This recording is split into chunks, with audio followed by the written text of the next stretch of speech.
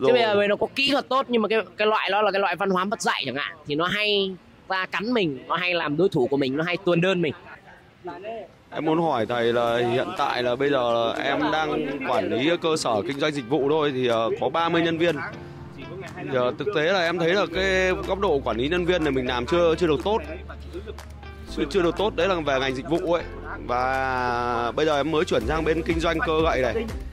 Và sau khi gặp thầy thì cái mục tiêu của em nó lớn hơn vâng lớn hơn rất là nhiều em vẫn chưa tự tin nắm về cái khả năng quản lý cái đội ngũ đội hình sao xây dựng đội nhóm rồi nó phải lớn hơn chứ nó xây dựng đội nhóm thì theo thầy nếu như mà xây dựng một cái đội nhóm ấy thì bí quyết gì để thầy quản lý được trông nom được rất là nhiều nhân viên đấy giao quản việc lý à quản lý được Ờ, về xem chuỗi video tuyển nhân sự của em nhá chuỗi video đào tạo nhân sự xây dựng đội nhóm nhá. Đúng rồi chính xác. Có video đấy ạ. Mình mình đầu tiên mình phải vẽ được người phù hợp đi theo mình đã. Người phù hợp là có kỹ năng phù hợp có thái độ phù hợp có văn hóa phù hợp.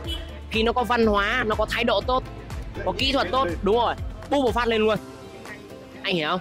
Chứ bây giờ nó có kỹ thuật tốt nhưng mà cái cái loại đó là cái loại văn hóa mất dạy chẳng hạn thì nó hay ra cắn mình nó hay làm đối thủ của mình nó hay tuôn đơn mình. Thế là tuyển người xây dựng đội thì là con người phù hợp con người phù hợp này. Nó có ba nó có ba cái lưu ý này. Thái độ này kỹ năng này và cái văn hóa. Rồi. Hiểu không? Tuyển đúng thì đi nó đúng tuyển sai thì đi nó sai. Tuyển đúng thì doanh nghiệp mình đi lên tuyển tuyển sai phát doanh nghiệp mình cắm đầu xuống luôn. Mình mình đang bị là đưa cái tình cảm nó vào công việc quá nhiều quan tâm Ừ. quá nhiều về thế thì có thêm một bí quyết nữa. Quản trị qua người thứ hai.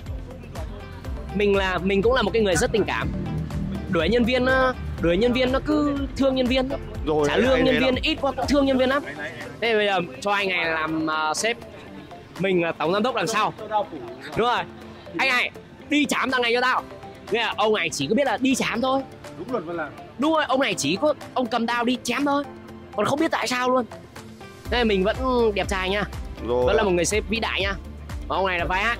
Tất cả những kiến thức này em sẽ về em áp dụng. Nhớ nhớ xem. Rồi xem video đâu ở trên Đấy, youtube free trên luôn. Youtube có. Ừ. xây dựng đội nhóm trên youtube của hạnh. Free luôn. Mười mấy video luôn rồi mà. Ngày hôm nay ngồi đây thì tôi chia sẻ luôn thầy là mục tiêu của em là sẽ lên video review cùng thầy. Sẽ Làm lên sao video review. làm sao phải Vâng. đạt được cái thành công đấy là phải lên được Feedback video đó. feedback cho thầy. Đúng rồi. Dạ vâng làm sao đó thầy? Dạ vâng vâng cảm ơn anh